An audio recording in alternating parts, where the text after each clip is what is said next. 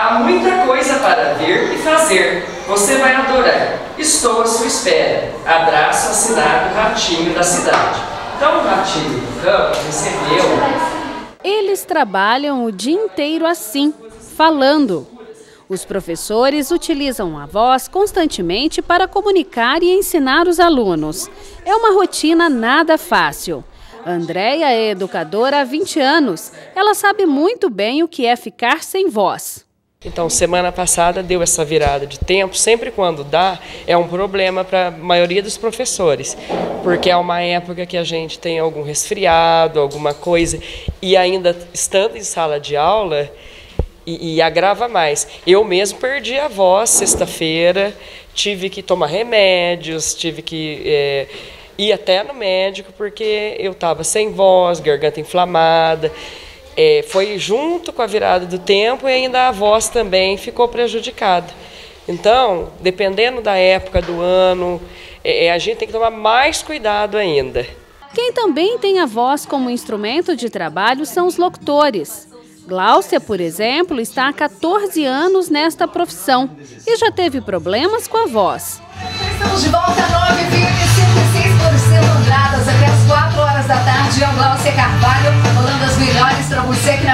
programação mais gostosa do seu rádio. Lembrando que daqui a pouquinho e muita música sertaneja, muito sucesso aqui para você. No começo, no começo da profissão, sim. Acho que a gente força mais, não tem tanta técnica, ficava bastante rouca. Teve uma vez que eu fiquei. Falei, nossa, e agora, né? Mas aí depois eu acho que a gente vai praticando, a voz até, né? Eu acho que as cordas vocais, ela, elas ficam mais resistentes até. Mas eu acho que uma ou duas vezes só, nesses 14 anos. E quem faz shows durante todo o mês, como o cantor Otávio Henrique, como será que ele cuida da sua voz? eu fiquei apavorado. São Paulo ficou pequena, o lugarzinho abafado. Peguei a minha Anguera e a coisa ficou pior. Quando passei em Campinas, dava pena, dava dó. Para mim é muito gratificante, é um, para mim é um dom, né? Eu encaro isso como um dom divino, porque é uma coisa diferente, que não é todo mundo que, que tem, que nasce assim, com a voz, com com, a, com o dom de cantar, assim, sabe? Eu evito bastante coisa. Assim, a galera fala que não pode tomar coisa gelada. Às vezes eu evito um pouco, mas o que mais prejudica a voz é na hora que a voz está quente e você bebe alguma coisa gelada em cima. Então, porque as cordas vocais são músculos, né, que trabalham ali. Então ela está quente. Se você beber alguma coisa gelada em cima, ela já dá problema na hora você sente ali. Eu, pelo menos cantando, se eu beber alguma coisa gelada, na hora eu sinto evito ficar tomando friagem, assim, que, que, nem o povo antigo fala, né? Tomar friagem. É, tem alguns cuidados que a gente toma, assim, água gelada demais, é, dormir bem também faz uma diferença muito grande. E não foi pensando somente nos locutores, professores, cantores, jornalistas, atores, entre outros profissionais que utilizam a sua voz diariamente, é que foi criado o Dia Mundial da Voz. Ele começou primeiramente aqui no Brasil e depois se estendeu para os outros países. Então, o Dia Mundial da Voz, ele foi criado para que as pessoas se atentassem as alterações que podem haver na voz, e essas alterações na voz são indicativos, muitas vezes, de problemas nas estruturas onde são produzidas as vozes. A estrutura são a laringe, né? A faringe, a tireoide, às vezes, ela pode estar envolvida em alguma doença, que alterações na voz podem demonstrar. Tá? Então, assim, é a prevenção de um câncer. O câncer seria a doença mais grave, né? Mas é a prevenção de várias alterações na parte do pescoço, laringe, faringe, que podem ser demonstradas através de alterações na voz. A população negligencia ou desconhece a dimensão dos efeitos negativos que os excessos com a voz podem causar para a sua qualidade de vida. Não, não podia, porque o que acontece? Todo mundo fala, né? Todo mundo fala, independente de ser a trabalho ou não, é uma qualidade, é uma uma característica que nós temos. Então, a voz ela está presente em qualquer ser humano em qualquer momento.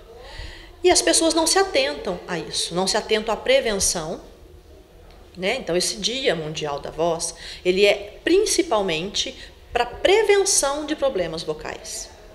E caso não preveniu, para um diagnóstico precoce, porque como todos os cânceres, todas as doenças, o diagnóstico quanto mais precoce, mais a chance de intervenção e sucesso, né?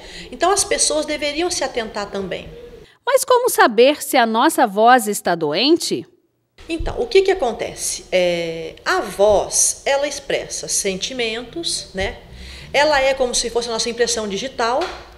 Muitas pessoas são reconhecidas pela voz, né? Tem pessoas que, por exemplo, você não conhece pessoalmente, mas sabe que aquela voz pertence àquela pessoa.